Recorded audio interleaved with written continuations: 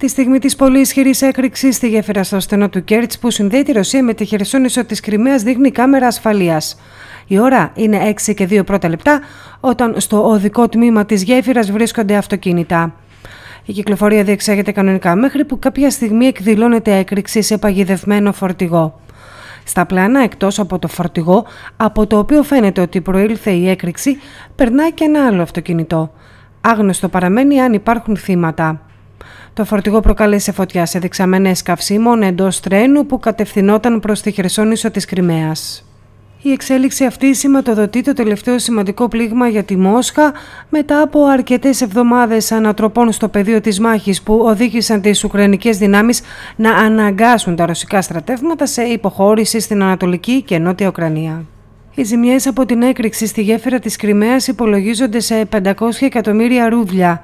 Αυτό δήλωσε ο πρόεδρος της Πανρωσικής Ένωσης Ασφαλιστών Ιγκόρ Γιούργενς.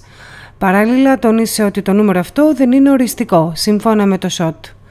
Σύμφωνα με προκαταρκτικές πληροφορίες, το πρωί της 8ης Οκτωβρίου, ένα φορτηγό ανατινάχθηκε στο τμήμα αυτοκινήτων της γέφυρας της Κριμαίας από την πλευρά της Χερσονήσου Ταμάν.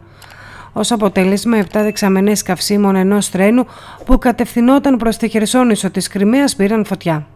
Δεν υπήρξαν θύματα, σύμφωνα με τα προκαταρκτικά στοιχεία. Όπως σημείωσε ο επικεφαλής της Κρυμαίας Σεργέη Αξιόνοφ, μετά την κατάσβεση της φωτιάς, θα διενεργηθεί εξέταση και θα γίνουν γνωστά τα αίτια του συμβάντος.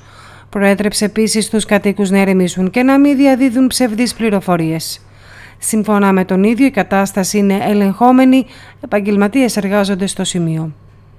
Η αποκατάσταση της γέφυρας της Κριμαίας μπορεί να διαρκέσει έως και δύο μήνες. Η επανέναρξη της σιδηροδρομικής σύνδεσης είναι δυνατή τις επόμενες ημέρες. Αυτή η πρόβλεψη δόθηκε από τον στρατιωτικό ειδικό Γιούρι Ποντόλιακα. Σύμφωνα με τον ίδιο, το φορτηγό ήταν γεμάτο με εκρηκτικά.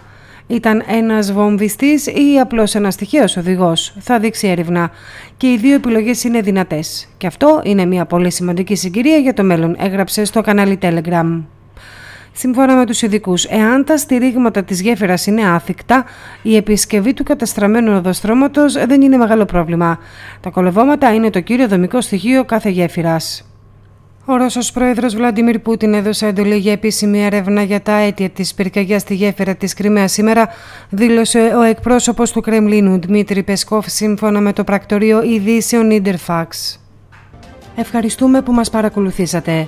Για να λαμβάνετε πρώτοι όλες τις νεότερες εξελίξεις κάνετε like και εγγραφή στο κανάλι μας. Μην ξεχνάτε να μας κάνετε σχόλια με την άποψή σας.